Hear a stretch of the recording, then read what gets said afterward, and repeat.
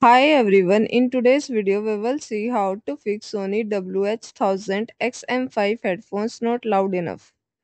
Adjust the volume on the device you are using with the headphones. The volume settings on the connected device may not sync with the headphones, so make sure both are set to the high level. Clean your headphones. Dust and moisture can affect the sound quality.